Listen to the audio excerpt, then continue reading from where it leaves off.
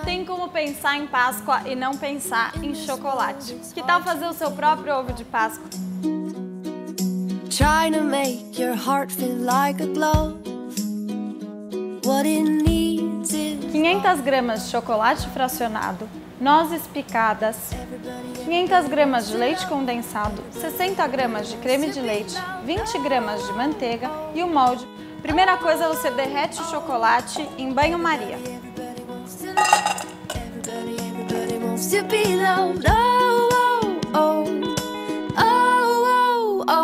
Enquanto ele derrete, você pode fazer o recheio, que é o leite condensado, a manteiga, o creme de leite e vai colocar também as nozes picadas.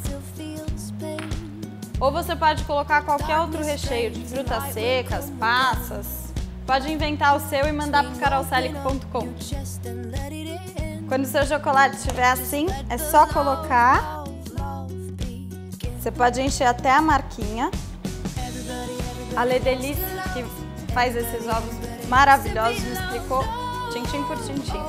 Você vai colocar assim. E vamos fechar. Vai assim para a geladeira.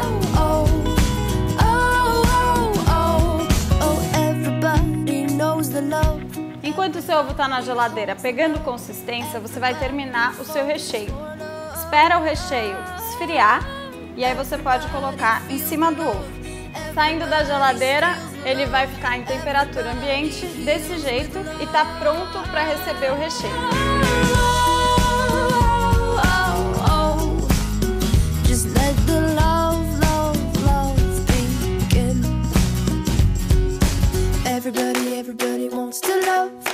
E ficou pronto o seu ovo de Páscoa, uma ideia maravilhosa do Ledelice para você fazer inclusive com seus filhos inventar o recheio que eles quiserem. Um beijo e feliz Páscoa!